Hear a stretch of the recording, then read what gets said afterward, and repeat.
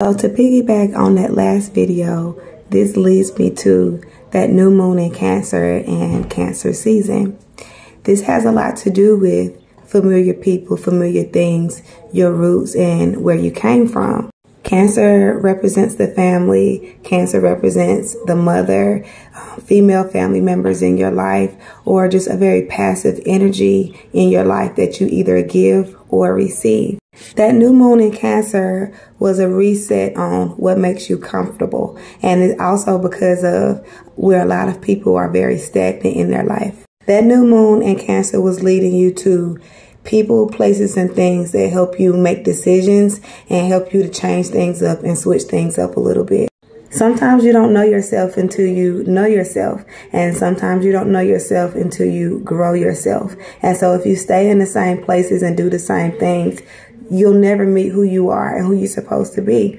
Cancer is a cardinal sign. So it's talking about new changes and it's also talking about a new season, a new temperature when it comes to the air and what's going on in the atmosphere. We should be able to adjust our temperature to wherever we are and whatever we're doing, but we all have to learn how to read a room first.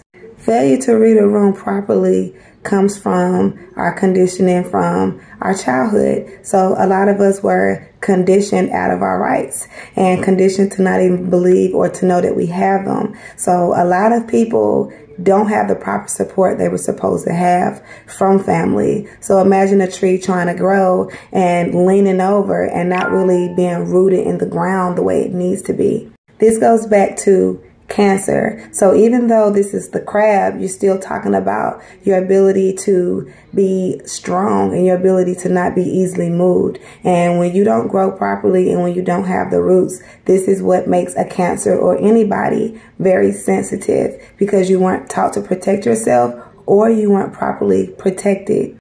The relationship with the mother has a lot to do with the relationship with food.